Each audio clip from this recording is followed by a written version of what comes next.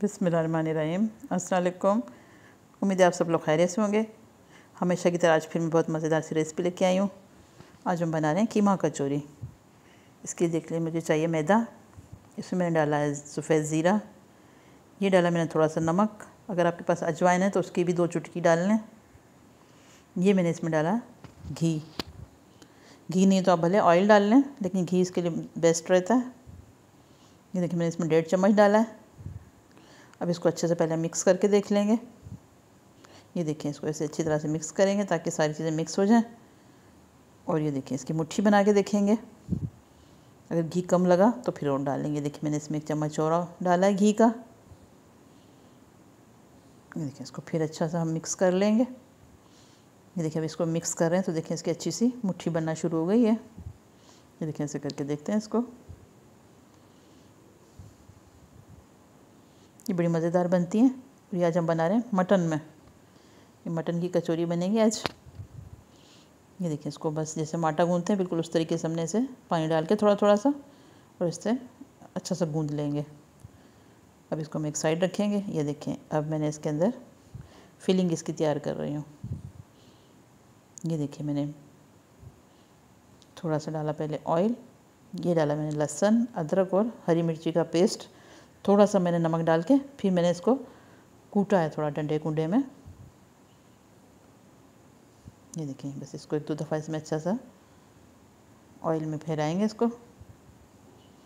और ये देखिए मेरे पास जो ये मटन, इसका मैंने बिल्कुल बारीक सा कीमा बनाया हुआ है ताकि ये जल्दी से तैयार हो जाए।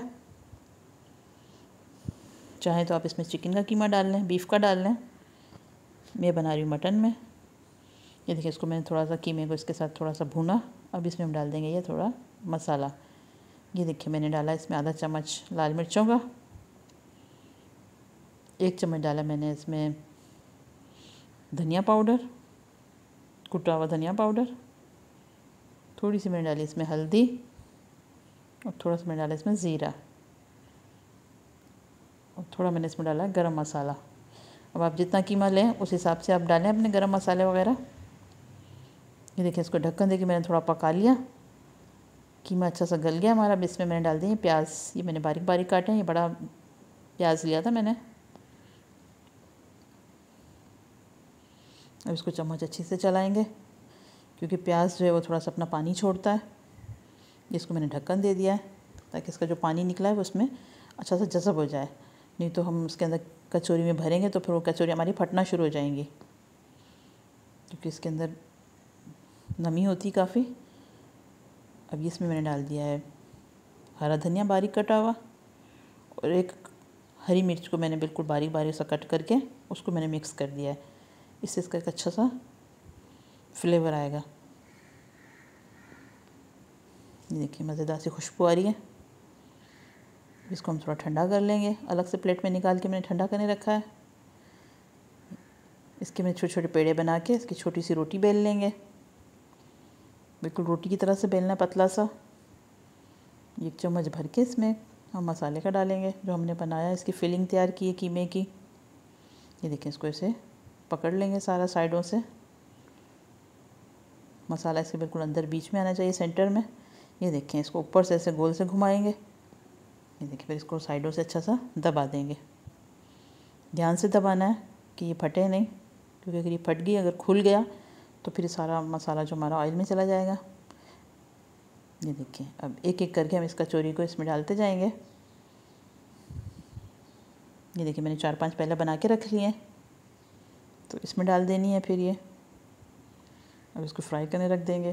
तब तक ये फ्राई होंगी, जब तक हम दूसरी कचौरियाँ बना लेंगे। ये देखिए, इसको अलट पलट के। आग हमें दरमियानी रखनी है। इसका एक साइड हो जाएगा कचौरी का तो ये देखें फूलना शुरू हो जाएँगी ये।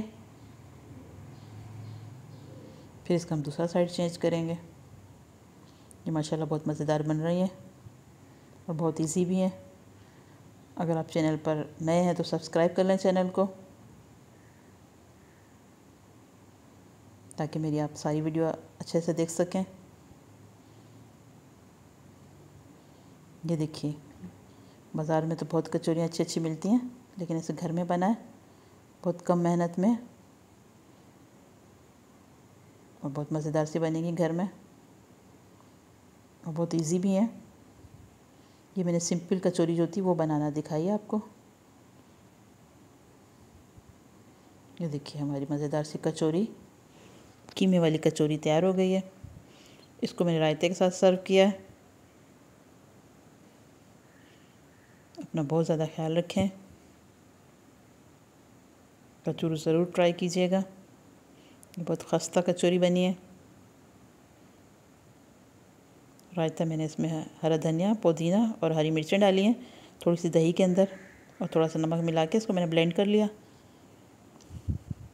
मिलते हैं किसी और रेसिपी के साथ। जब तक खुदा हाफिज़।